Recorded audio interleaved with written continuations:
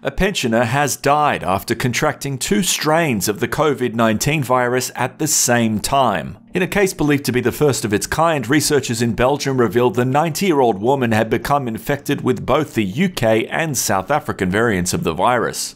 She had not been given a vaccine and was admitted to a Belgian hospital after a series of falls.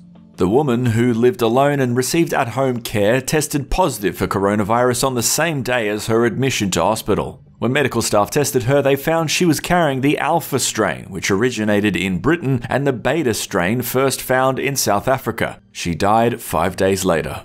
The case discussed at this year's European Congress on Clinical Microbiology and Infectious Diseases shows that it is possible to catch two COVID 19 variants simultaneously. In a statement, doctors said they believed she could have contracted the strains from two different people, and that although rare, similar dual infections are happening.